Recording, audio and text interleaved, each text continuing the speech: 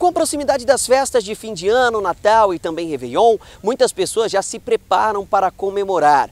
Por outro lado, outras pessoas se preocupam quanto à soltura de fogos de artifícios com estampido, que trazem um grande transtorno, principalmente para os idosos, para os animais de estimação. Pensando nisso, a Prefeitura Municipal de Paranavaí lançou novamente uma campanha de conscientização e na manhã desta quinta-feira, a Guarda Municipal esteve realizando diversas orientações em vários comércios da cidade, trazendo à tona essa lei que existe no município, uma lei complementar número 74 2023, que proíbe a queima, soltura e a comercialização de fogos de artifício de estampido e de qualquer artefato pirotécnico de efeito sonoro ruidoso no município em Paranavaí.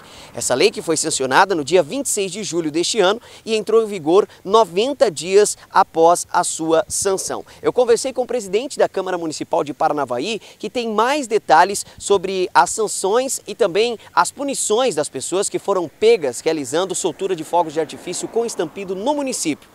Sim, Rodrigo. Na verdade, nós já tínhamos no município de Paranavaí a lei que proibia a soltura de fogos com estampido desde 2018.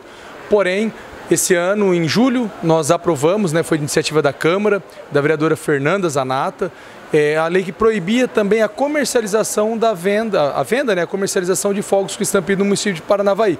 Então isso foi muito importante, porque para você conseguir é, o flagrante de uma pessoa soltando o fogos é muito difícil, porque ele é instantâneo. Então a Guarda Municipal tinha essa dificuldade, porque não conseguia fazer o flagrante. Então acabava que era uma lei que não tinha aplicabilidade. E com a nova lei da proibição também da comercialização, agora os próprios comerciantes já não estão vendendo mais.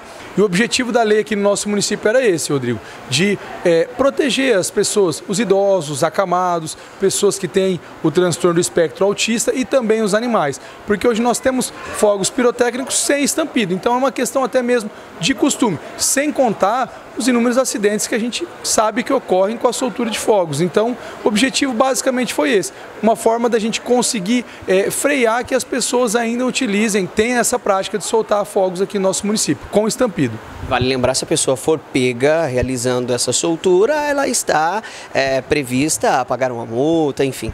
Exatamente. Na verdade, desde 2018, como eu falei, a gente já tem a lei que proíbe a soltura no nosso município e agora também as empresas que comercializam também vão ser autuadas. Então, a gente está tentando fechar o cerco para que as pessoas realmente não soltem e nem vendam aqui no município de Paranavaí.